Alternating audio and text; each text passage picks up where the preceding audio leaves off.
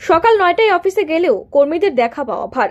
আবার ছুটি হওয়ার আগে বেরিয়ে যাচ্ছেন বহু কর্মীরা এমন সব অভিযোগ শুনে এবার নড়ে চড়ে বসল রেল। ঠিক সময়ে অফিসে না এলেই সে দিনটা হাফ ডে হিসেবে গণ্য হবে।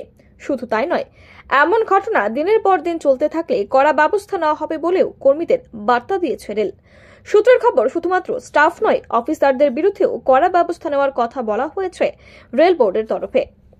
জুন মাসের শুরুর দিকে রেল বোর্ড এই নির্দেশ দিয়েছে বলে জানা গিয়েছে। বহু কর্মীর বিরুদ্ধে সময়ে অফিসে না আসার অভিযোগ উঠছিল বেশ কয়েকদিন ধরেই।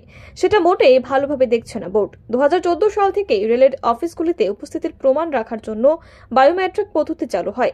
দু হাজার ষোলো এবং দু সালেও এই সময় নিয়ে নির্দেশিকা দেওয়া হয়েছিল অফিসগুলিতে। সুপারভাইজারদের বলা হয়েছিল কর্মীদের উপর নজর রাখতে সাধারণত রেলের অধীন অফিসারগুলির সময় সকাল নটা থেকে বিকেল সাড়ে পাঁচটা। মাঝে দুপুর একটা থেকে একটা ত্রিশ মিনিট অবধি আধ ঘণ্টার টিফিন ব্রেক দেওয়া হয়। নয়া নির্দেশিকায় বলা হয়েছে, ঠিক সকাল নটায় অফিসের চেয়ারে হাজির থাকতে হবে কর্মীদের। দেরি হলে কাটা যাবে অর্ধেক ক্যাজুয়াল লিভ বা সিএল। মাসে কেবলমাত্র দুদিন পর্যন্ত দেরি হলে কোনো অসুবিধে হবে না। অফিস থেকে বেরোনোর ক্ষেত্রেও থাকবে একই নিয়ম।